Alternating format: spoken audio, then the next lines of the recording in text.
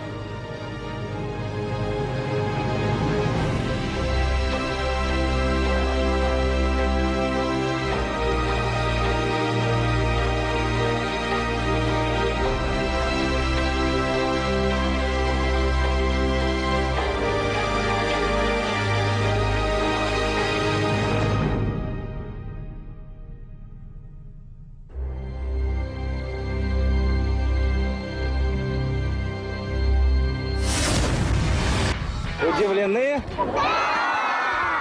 Мне очень понравилось все это дело. Кажется, очень легко и необычно. Нет, мне просто нравится наблюдать. Такая же фокус это интрига. Так вы подняли девушку, для меня понятия не было. Как- Какие-то, может, сваи, какие-то, может, нитки, нету ничего. Я в шоке точно. Сейчас я вам расскажу, как же мы это сделали. На самом деле, несколько часов назад, вот на этом самом месте, мы закопали специальное устройство.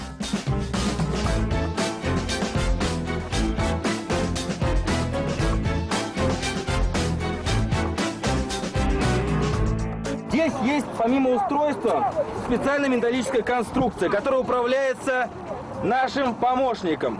Этот человек в шляпе. Посмотрите внимательно, что у него в руке. Вот такой вот специальный радиопульт.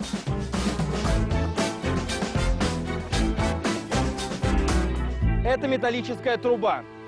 К этой трубе прикреплена специальная подставка. Именно на ней и лежит девушка. И для этого мне понадобится доброволец из публики.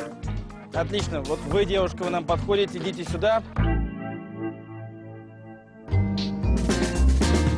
Ткань – это отвлекающий маневр, чтобы на несколько секунд скрыть от вас трубу. Все это время она находится за спиной иллюзиониста. Теперь как работает история с обручем.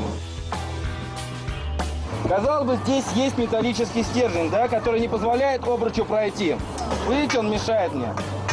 Что я делаю?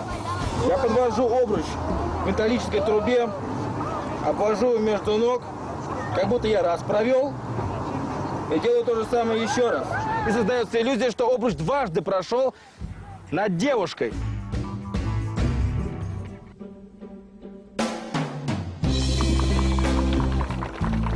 И у нас все получилось. Я не мог понять, как это происходит вообще. Я была поражена, потому что до этого я видела такое только по телевизору.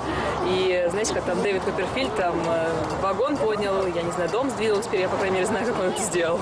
Чем больше будем знать фокусов, тем больше новых фокусов будет.